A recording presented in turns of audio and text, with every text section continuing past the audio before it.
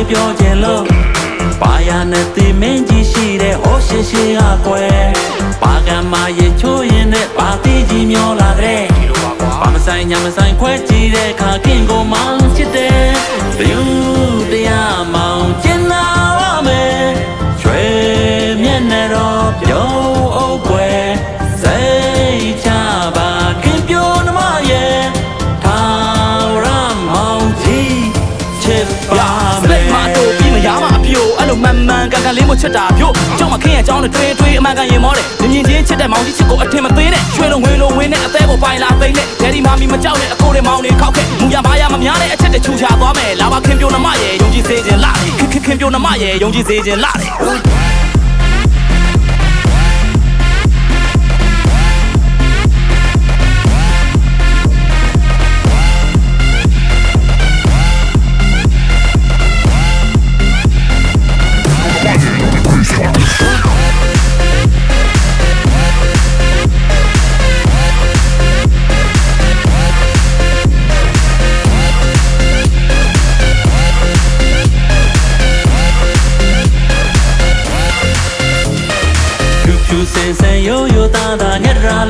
ဗျာ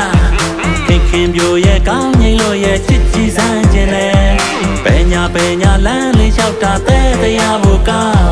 ဘယ်ပကြီးရမမီခင်အလားပါစာဖွဲလို့မရနိုင်သည်မောင်ကြီးမောင်ကြီးဆိုပြီးချွဲချင်နှက်ပါဤအသေးကိုဝင်တိုးကထိတဲ့ခင်ကိုတကယ်ချစ်ပါသည်ပကြီးပကြီးစရာရှုံးနဲ့မောင်ကြီးချင်နာဆုံးရဲ့တကပါလုံးမခင်တာတကယ်အလားဆုံးပဲခင်နမပြန်ချစ်ပါတော့ပြောသဘောလည်းမဟုတ်လေတော့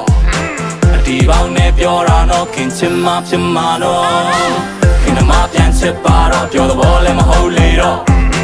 အထီးပေါက်နဲ့ပြောတာတော့ခင်ချင်မှဖြစ်မှာတော့လူတရားမောင်ကျင်လာပါမယ်ရွှေ